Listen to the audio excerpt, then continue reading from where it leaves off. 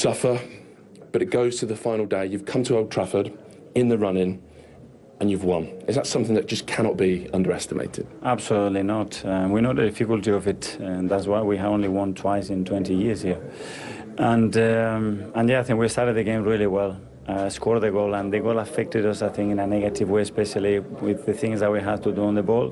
Did you get into sort of protection mode a little bit? I think so, and play to save and play backwards and play in areas that. Um, that it, it wasn't progressing our play and, and creating the threat that we wanted, and we started to give a lot of balls away because of that, and then the game becomes open. But it's true that in the same hand we defended so well. Again, I don't think we conceded much at all, and um, that's what uh, got us the results. Yes, 11 away clean sheets in the Premier League. I mean, those two centre halves, I know it's a team thing, but Saliba and Gabriel together, that is a, a partnership that I suppose that gives you a chance in any game, even if you're not at your best. Yes, but I think it's the attitude of the whole team. Uh, you look at Kai, the way he's chasing people, the way he puts pressure on the ball all the time, the discipline in a lot of habits that defending are super important. I think David as well was very, very good today again. So it's a collective thing. I'm thinking back to some Arsene Wenger running advice, which you told your press conference about. Uh, it was a week or two ago, and he basically it was it doesn't matter how you win, just win in the running. Uh, did you take that advice today? Yes, but uh, of course we are really happy to win. You want to play better, especially with the things that we did in the ball the second half, because there was so much space as well to to help them. But um, that's another step that the team has to take when it comes to these stages to be even more dominant. But um, the difficulty today was a high stake. We did the same with the Spurs, so big credit to the boys. How different is it, and how much more difficult maybe is it when the stakes are so high, when you're this close to the end? Yeah, it is. The, you, you know, you don't have margins for error. Uh, you play big teams uh, with necessity, teams that um, they really want to put things difficult against you, and you have the necessity to win, and um, that has to be managed emotionally. It goes to the final day, definitely. You might be first, you might be second, going into that final day, but just that achievement that you've stayed the course. What does that mean to you? Uh, today we wanted to open that door to say last game in front of our people. Our families will be there, and let's live one of the most beautiful days that we have lived together and see what happens. Yeah, and I remember you saying the other week, I think it might have been for Brighton City, that you're just going to sit and watch their game in your pyjamas. Have you got any Spurs pyjamas? we will certainly be watching the games. I watch all, all the games. It's true. We need the results uh, in order to achieve it, and on top of that, we have to do our job. So everything is at stake still. Could they still be fallible? I mean, it doesn't look like it, does it? But could they? You know them better than anyone. Uh, it's football. There's always possibilities. Thanks, Mikel. Thank you. Certainly is. Uh, as I said to you earlier, 27 Premier League wins, more than any other Arsenal team in the Premier League era, more than the Invincibles, and it still might not be enough yeah. uh, to win the league. But do you think Tuesday, ironically, Tottenham is the most likely when you look at West Ham at the Etihad for, for Manchester City? Is it all on Tuesday now? Um, I, I, I, just look at a, a, Man City side that are just, they've not lost this year. Was it 33 wins? You know, I still can't understand how Rodri's not in the Player of the Year, but the fact is, is that we're trying to ask a team like Tottenham, who have been so up and down, so open, to stop a Manchester City. You know, I, I can't get carried away with hoping that something happens. They haven't, they haven't got a single Premier League point or goal in the Tottenham Hotspur Stadium? Well, this is the well, this is when we find out. You know, you can hang your hope on that, obviously, but like this is where we find out because City are, are in a frame of mind where they know this is it. They can't lose this game if, if it comes out. City knows that they can't do anything other than try and get a draw out of this game. Win. They can't even get a draw out of this no. game. They've got to win the game. Got to win the game. But they've so, never played Tottenham in the title race. They've never played at this time at the Tottenham Stadium. No. And I think that plays into That's, this. Is this is where they are the best. They, they, they yeah. build up, like Sir Alex used to say, it starts at the Easter. They've built up to that, they're there, thereabouts, and then they're just relentless. They've, they've done it for years, you know. When it, the, the, Liverpool race last, was the last season, you know? Mm. Was 94 points? Season before. Season before. Oh, season, 90, I mean, yeah, 94, it's 93. Yeah, 14 mm. consecutive wins. It's just what they do. So tough. I don't think yeah, but the thing is, win that game. Yeah, I, you, you, you have to. If, if Tottenham win that game, then it will be something that nobody will be expecting. And of course, we're all hoping that can happen because, you know, I think Arsenal have done brilliantly to get to this stage of the season. Coming off of last season, they've learned a lot from it, and you can see what the, how well the players are playing. But again, we're chasing down a team that's going to probably, if they do do it, they will be the best team. They, you have to say they're the best team in the Premier League era because they've done it four times. Not even the great Man United sides, they've done it three. But this is a team what they're trying to chase, and it's tough. The bar is high, but they've done magnificent, and they've just got to keep going. And as I said, there's so many subplots here. We're going to watch Villa Liverpool tomorrow here.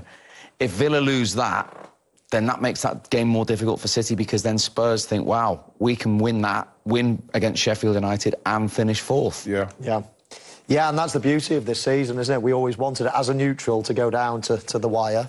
Um, relegation is looking like it's sorted, but European football is not. And of course, the, the, the big one, the title, is not either. So we're still hoping it goes down to the last day. Yeah. Um, and whoever wins will be absolute deserving of the title because two teams are absolutely incredible, not much between them at all.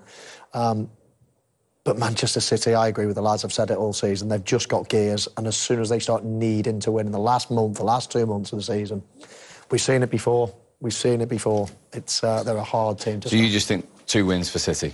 I'm starting to believe that, that both teams will just win all their games now. They're they're just they're in the zone. They're in the title winning zone, and I don't think there's going to be a slip up. But all Arsenal can do, again, they've got one game to, to go. Whatever happens on Tuesday, is just win the game and just yeah. see what happens. Yeah, well, that's what they had to go.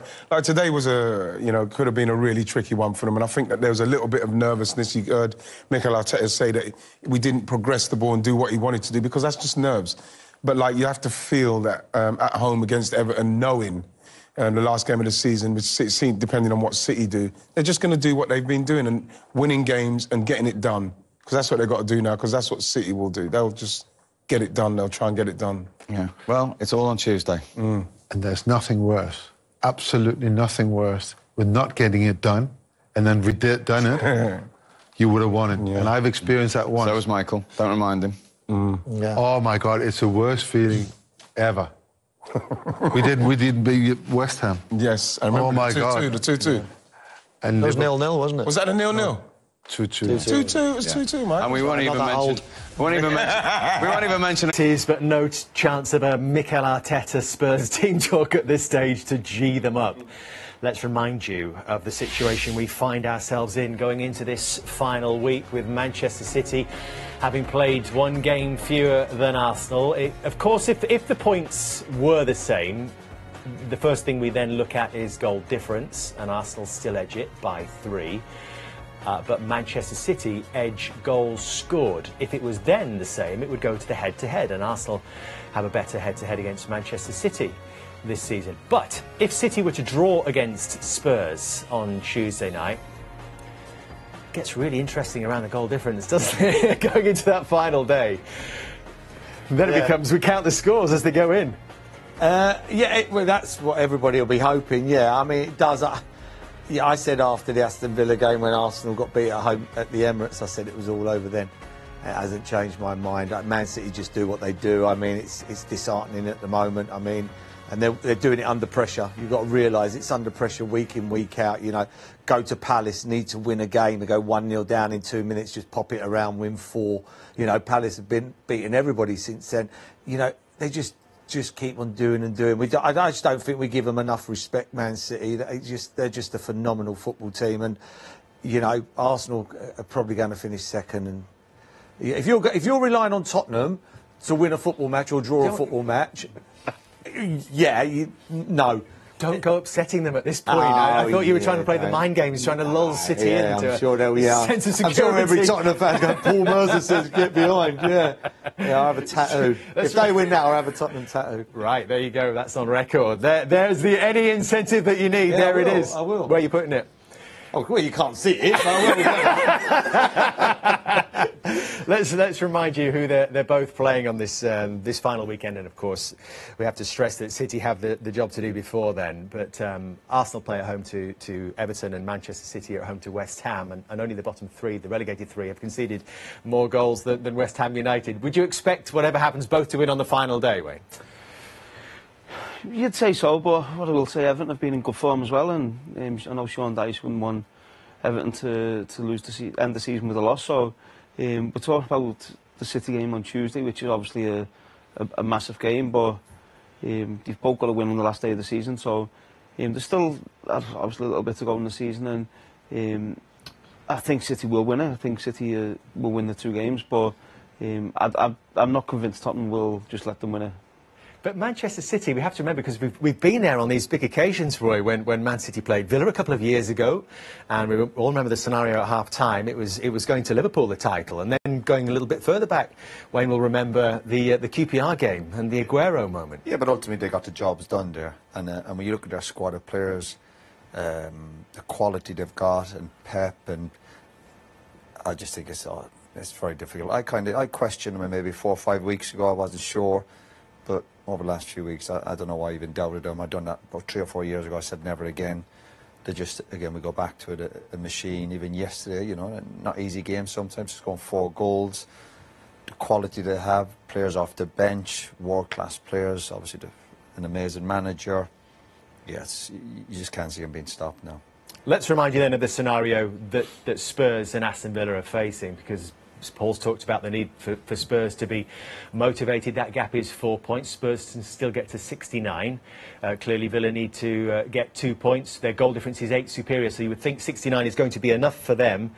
Um, so realistically, if they don't win, Spurs are still in the race.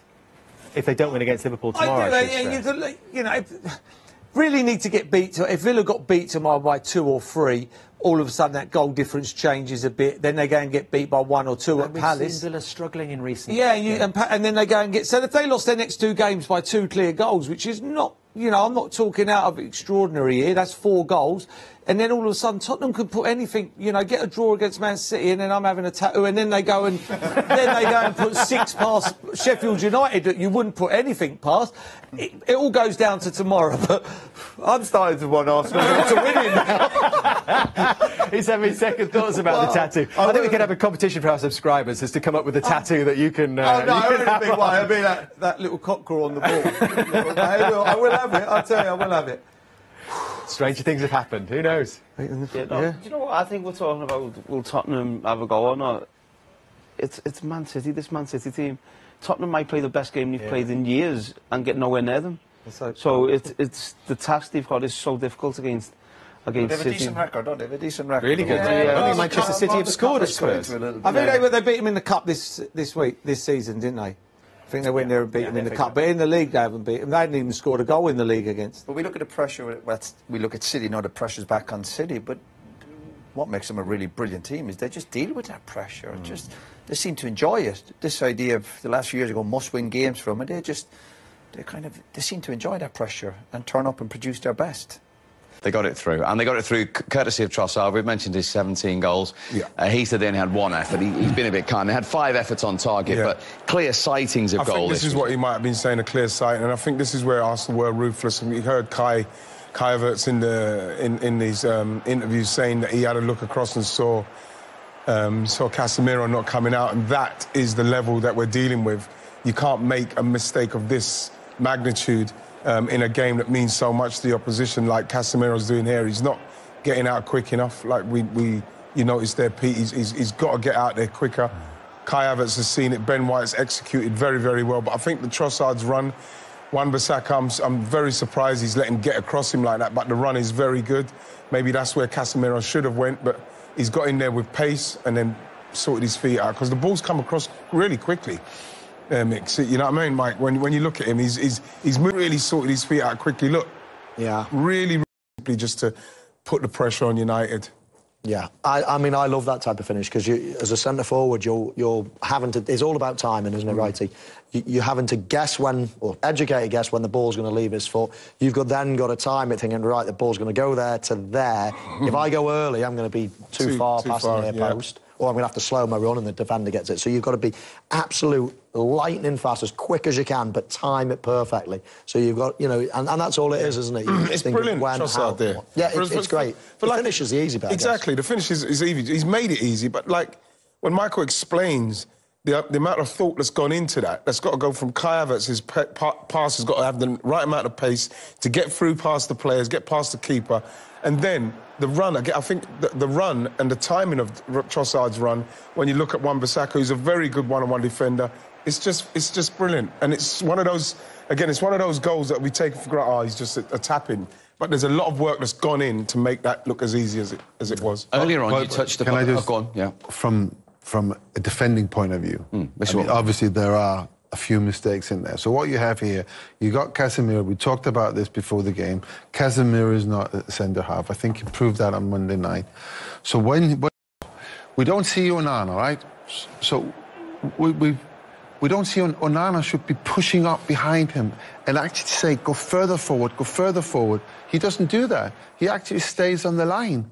You know, it, so when we talk about being, don't they don't look like a team. They attack like that as well. They attack like individuals, They do, they? absolutely, yeah. And today is a great example of it's it, it's it's all about just when you get the ball, I'm going to try and score a goal, and I'm not going to look at any teammates. I'm just going to try myself, and this is for me as when we talk about standards and and you know what my these are your options. This this is what you can do, or that is what you can do, or we pass it out to there. When we're here, this is what we're going to do, and and I think someone like Garnacho today is a great example of of how that that doesn't work. I mean, we see we see the goal here again. Look at how spread it out United players are. They're not reacting to it, you know. Yeah, I mean, listen, it takes two to tango, doesn't it, I suppose? But us as centre forwards, us as attacking players, you prey on a weakness. You prey on, you, you try to force errors. If nobody made any errors, every game would be nil nil. So, of course, we're constantly thinking, right, he's dropped, he's, he's not squeezed, not squeezed up too quickly, right, now Havertz is. And then there's a, a you know, a chain reaction of, of problems in behind it. So that's what we're preying on. Of course, Peter will see it in, in, in a certain way as well. But, you know, there will always be little mistakes, and it's how you punish them, how you capitalise on them, and how you put that pressure on. But would you would you always then do the same thing, or would you try to put a variation into what you do? It depends what the mistake Well, no, is. I mean, in that yeah, situation. Yeah, but you would look at it, wouldn't you? When you get Of the course ball, you react if you're to running everything. towards, to, if you have the ball, you're running towards defenders. Would you always do the same thing? Not at all. No, but this is and every scenario is this is what, different. uh, as a fan, I'm sat there, I'm watching. I, I mentioned Garnacho before. I'm, I'm, I'm watching Garnacho, who has today had the ball so many times on the left, and I'm hoping for him just now and again to do something different. But every time, he's trying to finish it himself. Garnacho gives me he gives me that impression that um, he, he doesn't play off of it. He's, he's he hasn't got that person in there to, to play off, right? So he can go. We have Emil. You know what I mean? Some of the times if I came off and Dennis would be there, or Kevin Campbell, Alan Smith, he's somebody that when he gets it, he seems very, very one-dimensional in the way that he's only going for goal. You don't see too many one-twos off of him. You don't see him looking to square it inside for his partner and the partner giving him the same thing. And this is where, for his age, and we know that he's capable of scoring great goals, is where the inexperience comes because he, he, he, he- the decisions he makes in the final third, um, at the moment, especially in this game, they, they, they weren't good enough. This, he, he needs to be coached a little bit, you know.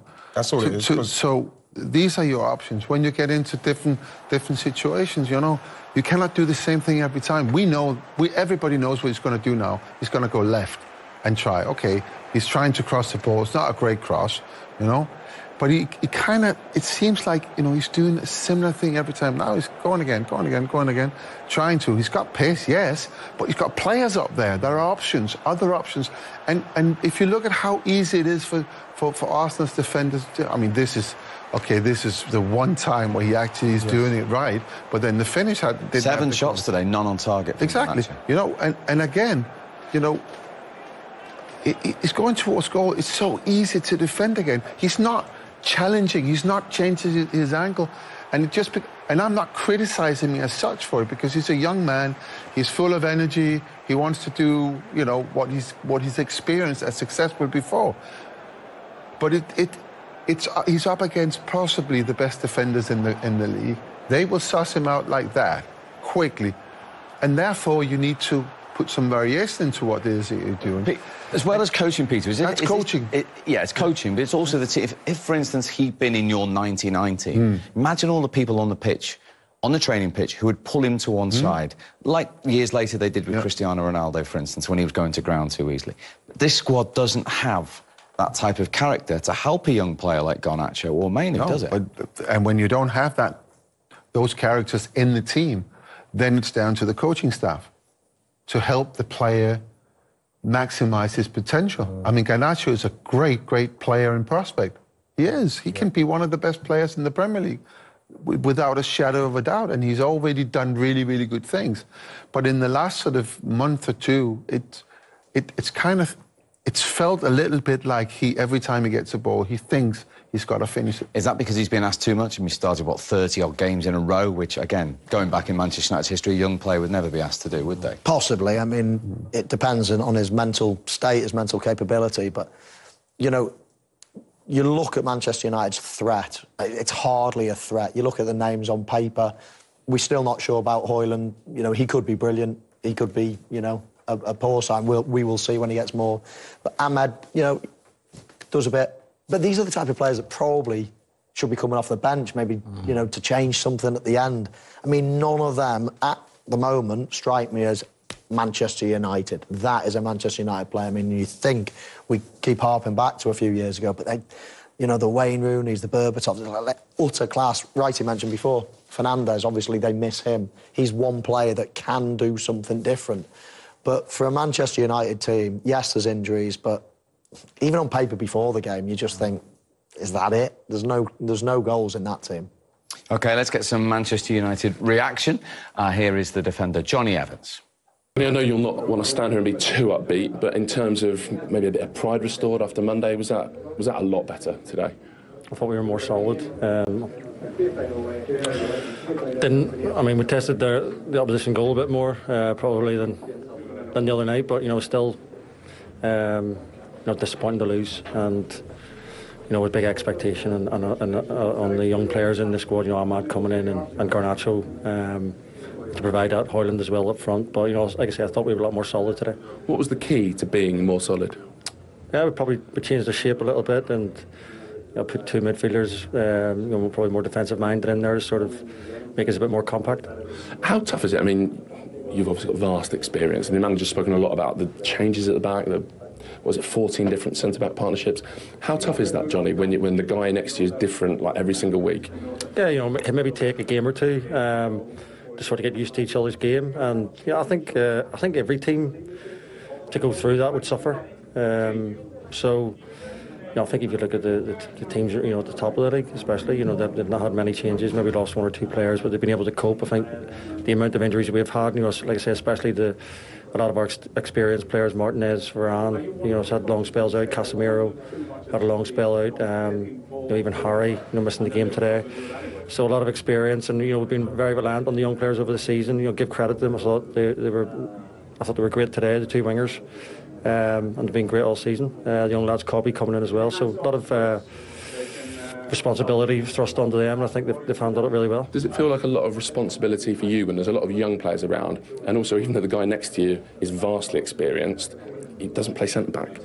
No, there is. There's uh, there's a lot of responsibility, and you try and take that on. And you know, myself coming back in, I guess my second game. Um, in a couple of days, and I think you know I've, I've missed a little spell out of, out of, the team myself. So, you know, you, you, feel it whenever you're at the team like that, and you feel like you know you want to be able to contribute, co- contribute. And I think there's probably a lot of lads in the squad that, that feel the same. Um, Luke Shaw, Victor Lindelof as well. You know, it's a lot. You know, what teams had to cope with, and you know, I think the manager's tried to be positive over the season and deal with it and, as best he can. And I think he's, I think he's handled that very well. Where are Manchester United at at the moment? Do you think? I mean, you know, as well as anyone, the, the scrutiny and the criticism is always big with this club.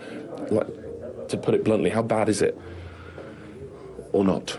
like Man United, you know, you want to be challenging, you want to be winning games. We expect, you know, we've still got that mindset where we should be winning today, and um, you know, no Arsenal at the minute uh, are on a good run and you're up at the top of the league. But you know, it's disappointing coming away from the game, and I think we should always have that expectations.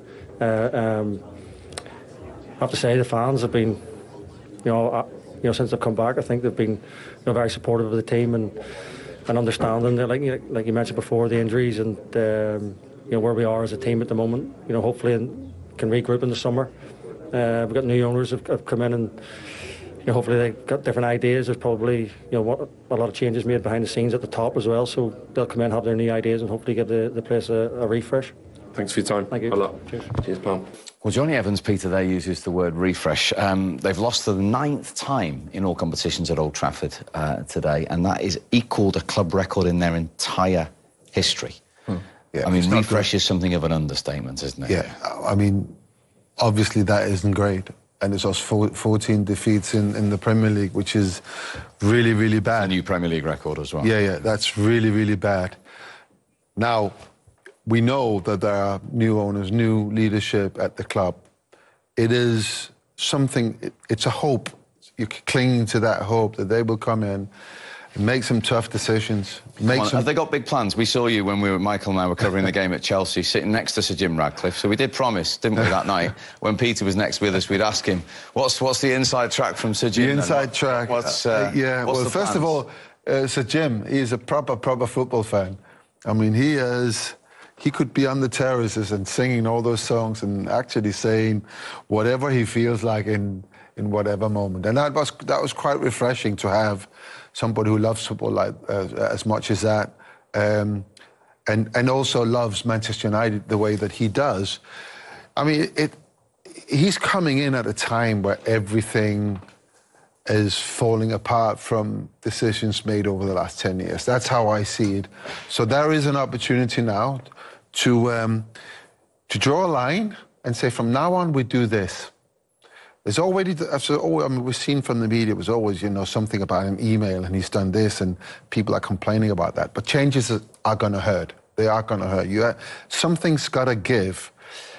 And that is my hope that this, this summer, that something something big, a big statement is going to be made that, that tells me as a Manchester United fan that we're now changing direction. We cannot continue in the same way. We cannot keep believing that we can buy players and buy our way out of it because we tried. We have really, really tried. We are the football club in the world with the highest net spend in the last 10 years. We can't, I mean, we can't keep doing that. We've got to be clever. We've got to, we've got to develop players as the club has always done for their most successful periods. We've got to be smart in the, in, and scout really well, do the diligence on, on players, make sure that we get the right type of players in. When we look at the squad today, you know, that you know, we've got one team, or the squads, we've got one team challenging for the championship, we've got one team not challenging for it. The, the, the one team, they've got every position covered on the bench, from the bench, and you will not really see the difference when they make the substitutions, other than a little bit more energy is, but the, you, the quality won't f- fall. But for Man United, you see all the young players who's never played in the team before. They are then being asked to come in and do that job. That's not what Manchester United is all about. It's not. And, you know, what, what are the changes going to be? I don't know. People crying for a new manager, people crying for certain players to leave. We have to wait and see, but something's got to give for sure. And it's not going to be a quick fix, whatever happens, is it? No, I would, I would say not. I'd say not, but although, you know, someone like Mikel Arteta came into to Arsenal as opposite number today, and, and you'd say that that's happened reasonably quick. Isn't it? Listen, it's not We're gonna Arsenal in as a bad year a shape as Man United are now, though? No. No. No. But, uh, There was a but- lot of players Man- that had to go, though. He had Yeah, to do a lot of work behind the scenes. And that's hard. That's harder Yeah. sometimes than getting players in, isn't it? Yeah. That's, that, And you'd also say that Manchester United would would have the financial clout to Yeah. to accelerate the process better than Arsenal back at that time. But Mikel Arteta's done it, and you know, done it really well. So, you know, it can happen, but it's not gonna it's not gonna happen in a year or two, is it? They're not going to win the league again. Well, one, of- one of the big problems is, of course, that players have been signed for very, very high transfer fees, which has to be appreciated over a certain number of years. So they've had to sign long contract, five-year contract, at very, very high wages. You know, and if the players that you've signed are not good enough, are they gonna are they gonna leave? I mean, there are certain players at the end of their careers. Are they gonna leave and then leave all that money behind? I don't think so. So they're still there and they're still in, you know, in consideration with FFP. You know, which is something that United really have to be careful about now. So it, it's not as easy as we think to to make those changes, especially getting players out, players we don't want there. So it, it's it's going to be really interesting to see what uh, Sir Jim is doing, but hopefully he's going to do something. He's made changes in the background, hasn't he? Yeah. You know, the main one he's got to do is is, is the is the main job at the club. The, the mo- Sir Alex Ferguson always used to say the most important person in the club is the manager, and they've got to have that right. But once you get the right manager, then I think you can start accelerating that process. But the chopping and changing, the uncertainty, the lack of results, the lack of a plan, the lack of everything that we see, the lack of progress, full stop. I mean, you've got to get the right mm. manager. A- After the game on Monday night, you mm. were very, very clear about what you thought about the manager. You said he's got to go. This is unacceptable. Now it's been nearly a week now. Have you have you made any thoughts about what you think would be a good person to to put in there instead? I mean, we've all heard of the rumours that that possibly could be. I mean, we're, we're hearing that the likes of Gareth Southgate, um, Graham Potter, people like that. You've now got Thomas Tuchel that's available. Um, there are names out there. There's no real standout that I would think you've just got to go and move quickly and go and get him. Um, but I just think, you know, I know you've always got to have a plan after you make a decision like that, but but this current manager fills me with no confidence whatsoever. And you know, you, what we- what what are Manchester United going to do? Wait for the perfect candidate? You might be waiting a year, two years, three years. In the meantime, going to keep being served up this. I think I think you almost just got to make that decision, and then you know, I'm sure they're, they're searching as we You know, as we you know the thing is, Mike, is that I was, I was reading some, this, some of the stuff that Sir Jim uh, Ratcliffe was saying about trying to build structure and trying to build a structure where the club plays to a certain certain like Ajax, which is something that Ten Hag was used to, and then you just you just bring the coaches in. Now, if that's the way they're going to go, then you you probably feel like he might feel like well. Ten Hag can operate in that situation, so we'll have to see how that works out. But to, to build that kind of structure in a club like Man United from the from the bottom all the way to the top, so as then you can only bring in the, the coach is going to be a long process. So it's going to be interesting to see how they actually do that. But something's going to have to give in the summer. We need to find out what's going to happen, and it's it's, it's quite interesting times for Man United now. Certainly is. Okay, interesting summer ahead. Let's though get the immediate thoughts from today. The 1 0 defeat from Erik Ten Hag. Well, Erik, we know that a, a Manchester United manager is never going to stand in front of us after a defeat and be happy. But can the players at least look the supporters in the eye today, knowing that they've given everything, the fight, the heart that you asked for beforehand, that was all there? Yeah, I think um, your line is right. Uh, we can face them. Where on Monday, definitely we couldn't face them. Uh, but uh, you see the fans are behind us and they fought with us in, in Palace. And today we gave them back, but that should be the standard in any game. So, what was the key to a, a much improved performance? Uh, it is attitude. Uh, starts always with the right attitude, and that is what you have to build during the week. And on match day, uh, you have to be spot on. And today we did. And then you see, even when we miss seven start 11 players, potential start 11 players, we are competitive uh, with one of the best uh, teams in the league. So, you say attitude, but also a bit of a adaptation from you tactically today. Dalot looked very narrow. I don't know if the plan was to sort of restrict Arsenal, stop them coming through the middle. Yeah, it is also always uh, the plan, and it's about the execution. And when you don't have the right attitude, and when you don't find the moments to press, when you don't be on one page in togetherness, or when you get beat, when you don't make the recoveries, uh, then you make it very simple for every opponent. What did you make of the goal that decided the game? Should Casemiro, should he know to be out there, or is that just a case of it's a midfielder playing in a you know out of position? I think that um, this, uh, I think it's a line, and you describe it. Uh, that situation, uh, that is a midfielder playing in that position, making a mistake, making a small mistakes, but yeah, has hard consequences. How important is it that this is just you know this is the the base if you like, and you and you move on from here with basically three cup finals left, not just one? No, uh, but I think for a United player, every game is a final. And you have to perform and you have to win every game. And we should realize this. What does you mentioned the supporters? I think in your first answer, right behind the team again today, right behind you. It seems like as well. What does that mean? Because I mean, you're the manager of a massive club that hasn't had a great season, and it feels like the pressure and scrutiny, scrutiny on you is big. But to have those supporters still behind you, what does that mean? That I think the fans understand this, where we are, where this club is. Uh, if we have so many injuries, and especially on key areas, uh, they don't get what they deserve, the fans. But they they understand this, and that's why I think they are uh, behind the team because they see most of the times also a team what's fighting for each other, but has the right spirit. And I think that's why uh, they are with us.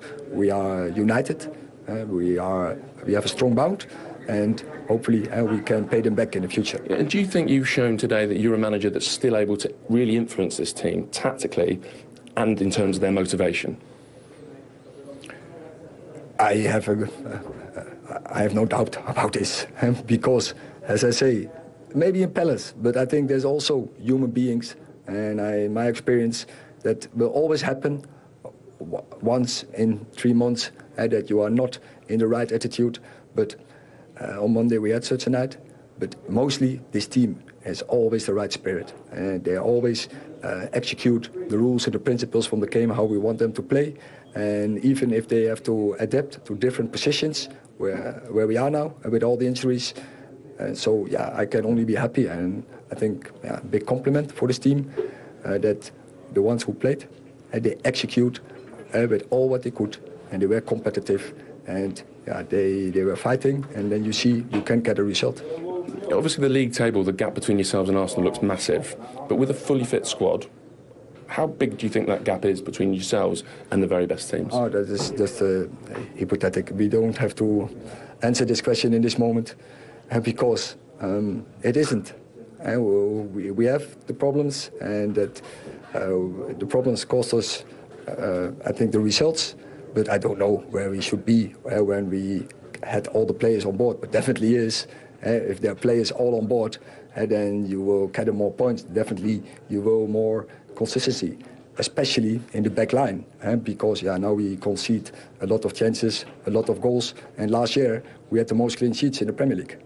Thank you. You're welcome. All the best.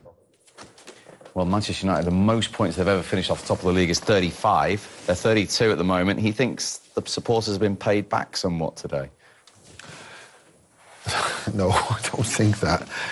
It, I think with him, with Ten Hag, it's one of his problems doing these post-match interviews, but I'm not sure he, can, he, he knows precisely what to say. He, he, he's, he's trying to be honest, and uh, he's someone who analyzes a lot. So he's, he's spending the next couple of days looking at the game, preparing for the next. He's ha- he hasn't had that time. So he will probably see a lot of what we've seen today when he looks back at, the, at this game. But he's, I don't think he's excelled in his post-match interviews because he, he came out one week saying that, that his team was the most dynamic and entertaining team in the Premier League. They've just beaten Sheffield United 4-2 in a game where they were 1-0 down and 2-1 down as well, and a little bit fortunate to get to 4-2. And, and I don't know why he's doing that. It could be a deliberate thing to divert from other things, but, you know, I don't think he's, he's excelling in that. And, you know, sometimes it, it I just, I'm worried about, you know, what's going to happen going forward if if he's a he's the one driving the bus. I am. I have to be honest. You are as well. Uh, uh, yeah, I I can't imagine any Manchester United fan sat there at home watching that is going to be. That's my man. That that well, you know, great motivation. Uh, yeah, I get that. It's oh wow. If if if if that type of interview, if that type of we don't know what the plan is on the pitch, and after that, how long was that interview? About four minutes. I, am even more confused than I was beforehand. I mean, there was just was there any sense in that? Mentions injuries a lot. Uh, okay, whose fault's that?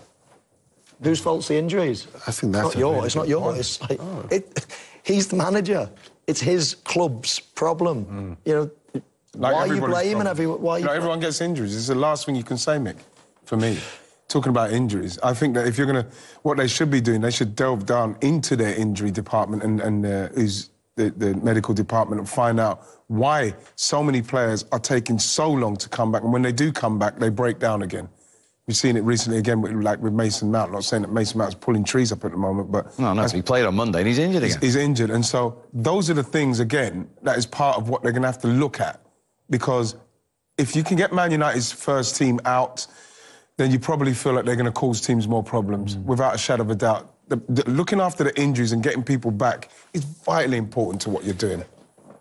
Yeah. Quickly, go on. No, I'm just saying, having worked with someone like Sir Alex Ferguson, Alex Ferguson always, and we had this saying, like, the season starts in March, you've got to be there, thereabout. But also, he never ever wanted us to train very much 45 minutes, maximum an hour. So, not putting pressure on the players in training, not putting pressure, because it's difficult, it's hard, hard to play all these games. So, so I just have a suspicion that there are other principles being brought in from other uh, countries, other leagues, where, where this is how we've done it. And it sometimes doesn't work on, on the Premier League. Sometimes you you gotta compromise on maybe some of your principles that you gotta train the day after, you know, day after a game. You gotta train because it. But sometimes it's better for you to have five days off, you mm. know, and just two days training. And f- so so Alex would do that because mentally you got to be ready for the games. It's not about the numbers on you know, everything is measured up. It's not about that only. It's also about what you see and what you feel. Mm. And sometimes I just feel like that's not really in there anymore. I remember that time he gave you a week off, you and Scholesy, do you remember? You went to Barbados, Scholesy I went, went to to the Lake Barbados. District. I left. I left. I left playing really, really badly. I came back playing really, really well. Yeah. Because now you, you know, not Fresh. playing, but playing the, Mike- what I was Michael in supposed to Sandy do. Lane, and then, then there you were. Yeah, brilliant. How the other half live? Hag remaining, well, remarkably upbeat, you'd say, Well, Roy. he has to be, and he's an experienced manager. and Certainly not um, not easy getting interviewed after a game where it's another defeat, and the stats for this team are so bad in terms of the records, defeats, where they are on the table. Um, you know their struggles in Europe. Yeah, they've got a cup final coming up in a few weeks. So it's it's, it's a tough interview, and he's trying to stay positive. And um, you know, there, there are tough questions he's been asked about. You know, the players behind him, and is he tactically up to it? And you know, Do, are do you think he is? Tactically up to it? Uh, yeah, I'd, I'd like to think so, and I think there, there has been genuine problems at the club. The injuries, and he mentioned the back four, and I think he's he's pretty honest with that side of it. But the more games you're losing, and when you're eight in the table, yeah, you, you, I suppose you, you end up losing that belief.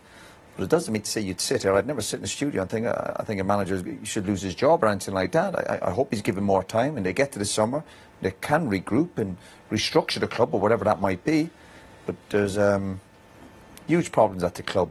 But I, I hope, I hope he's given a chance to, to, to get things right. Because last year there was some positives. Just, you know, let's um, we have to be honest with that. And they have a cup final coming up, and if they manage to beat Man City, it's going to be very, very difficult. But there's huge challenges he's facing, and, and, and he's under huge pressure. What's your take on it, uh, Wayne? They are 32 points off the top now. They've lost 14 games, the most in, in, any uh, Premier League season. Should Erik Ten Hag be under scrutiny? Should his job be in question? I think anyone who, who's Manchester United manager is, is under pressure because obviously it's a huge club and um, when you're losing games and, and in the way that the losing games at the minute is, is there's going to be big questions asked and I, I, I said this a few weeks ago I think the players have to really look at themselves because when you've got your manager doing an interview and he's talking about attitude and players' attitude not being right to play for Manchester United that is a massive insult. If I see my manager saying that, then uh, there's no way I'd, I'd just let that ride and ride till the end of the season. And it looks like some players are just trying to get to the end of the season, and that's my personal opinion. And um, so I feel for him in that way. But ultimately, it's his job and um, to to make sure the players are right. So is it your feeling that, that perhaps some of these Manchester United players are not playing for this manager anymore? Well, if they are, I don't think they're showing it very well. I, I think the the performances, there's some very good players in that squad, and the performances are, are way below par.